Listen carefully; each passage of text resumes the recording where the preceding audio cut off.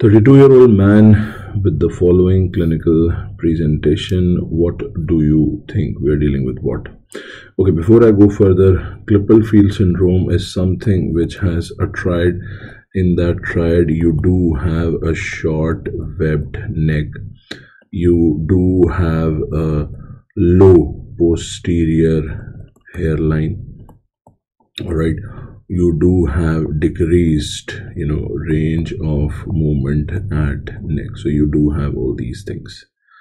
okay now i don't see i mean the neck looks obvious to me. I don't see any short stature as such. I mean i can't comment on it but still i don't think so.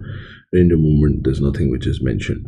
Sprengel's deformity is congenital high elevated scapula on one side that is Sprengel deformity they have not even shown me the scapula. Now cleidocranial uh, dysostosis and Poland's anomaly. See when I talk about Poland's anomaly uh, okay first let's talk about cleidocranial dysostosis so when we talk about this diagram so this is basically absent clavicle or rudimentary clavicle. okay apart from that uh, there is failure of i would say intramembranous ossification. So that affects skull that affects clavicle that do affects face as well.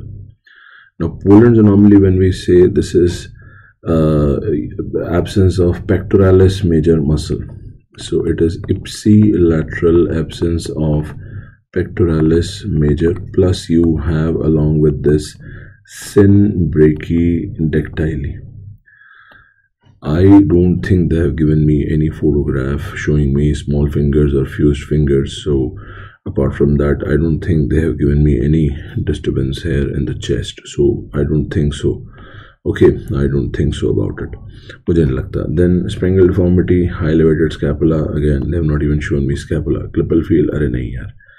So when both the shoulders can be approximated together that is because of the absence of the clavicle so answer is C C D so we use to call it C C D cleido cleidocranial dysostosis uh,